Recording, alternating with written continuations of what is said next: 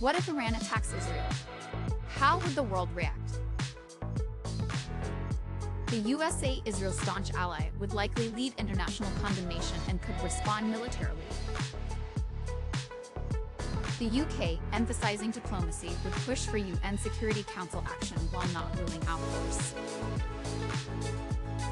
China and Russia, with strategic interests in Iran, might call for restraint while blocking punitive UN measures.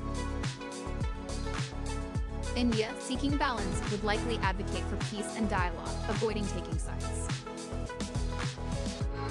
The world would be on high alert, fearing global escalation.